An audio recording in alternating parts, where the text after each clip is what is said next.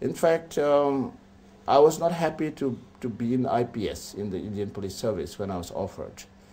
My desire was to be rather in the foreign service because I thought by being in foreign service, I'll be able to see countries and make friends all over the world, but that didn't happen.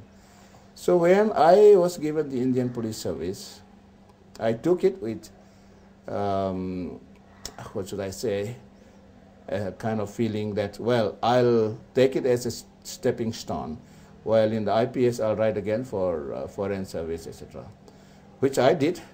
I was called to the uh, UPSC up to interview, personal interview, but since I was uh, busy with my training, uh, I could not get more than I got the previous in the previous exam. So again, I was not given the IPS. I'm sorry, in, uh, IFS.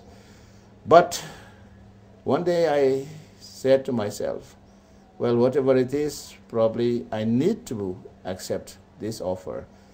However, I'll, I'll um, uh, appear before God and consult with Him and uh, ask Him for help so that I'll be uh, successful in my profession.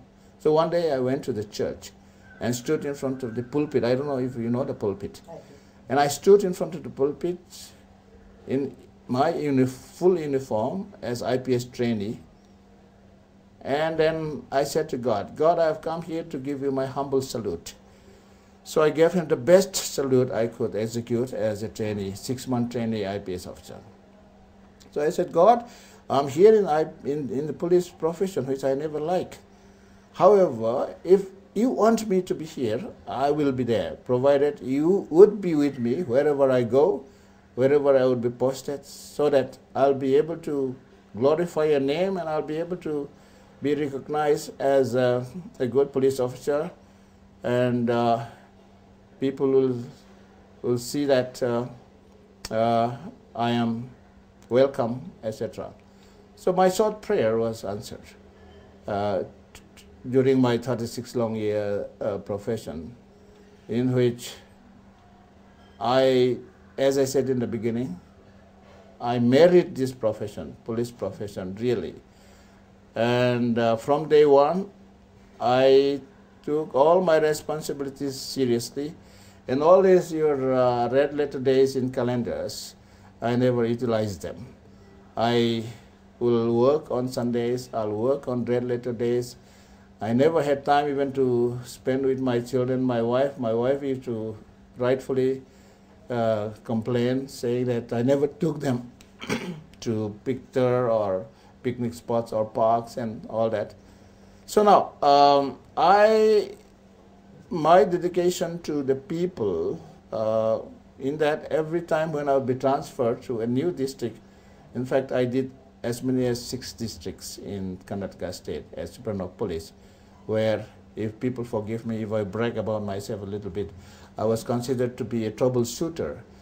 Uh, I cannot name all of them. But wherever I work, uh, I work dedicatedly. Um, that's why the people of Karnataka knew me uh, as police officer, and they have made three, three full-length feature films. My dedication was so much that every time I took up a new district, the first statement I would make to the public, to the press was, I will be always available and there'll be no, no meal time, no sleeping time, no puja time um, for my accessibility or availability. Everybody, anyone in, in need of police help can come and see me or call me up anytime during 24 hours. So saying I used to put my phone next to my pillow, which I still do now also. At this age, when I've come to 60, 66.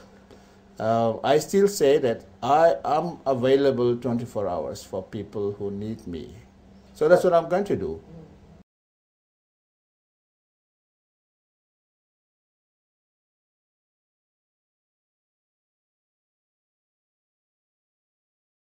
I'm glad you asked me this question. Corruption was the first enemy I had when I entered the, the service. I've seen people, even right constabulary level people, um, indulging in corruption.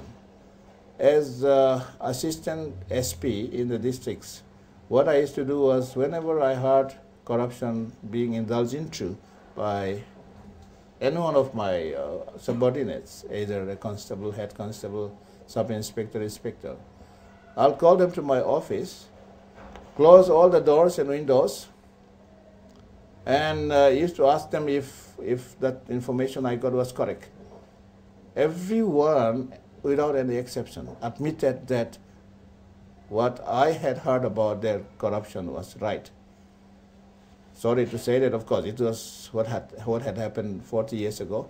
Even if they tried to prosecute me, uh, nothing much could be done.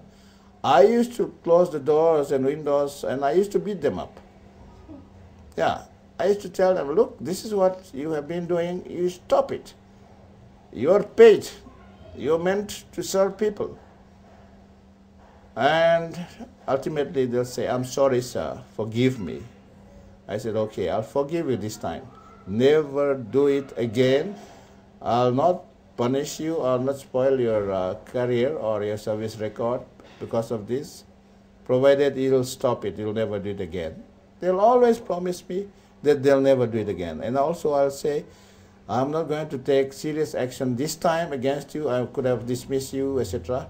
But I'll not do because of your wife, because of your children. Then they'll say, thank you, sir. These people whom I had roughed up never complained against me. Rather, they love me and they knew that I care for them and I want the department to be okay. So corruption was the the first thing I, I fought when I entered into the service. Well, if corruption, how hard, however hard you fought, I found could never be really eliminated completely. You can only reduce it or minimize it. But that too, if all of us at the supervisory level are not of the same uh, kind of attitude or are, are not equally interested in suppressing corruption in any department, in any activity of life or business of life, it is going to remain always. Therefore, today I consider corruption is the biggest uh, disease we have in the, we suffer in this country. It's like a, it's like a big cancer.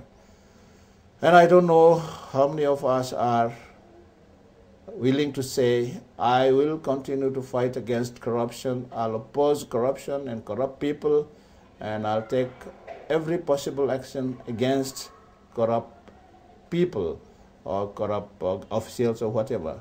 At the same time, it is not correct to blame 100% uh, the, the officials or politicians who indulge in corruption. We have to also address uh, the public on this issue. If every member of the public says that I will not indulge in corruption, anybody who, whom I found to be corrupt, I'll report about him to concerned authorities, etc. So unless there is um, mass movement to fight against corruption in this country, I don't think it's possible. Even in this election, I know people have been telling me that corruption is going on everywhere. People are throwing money like water.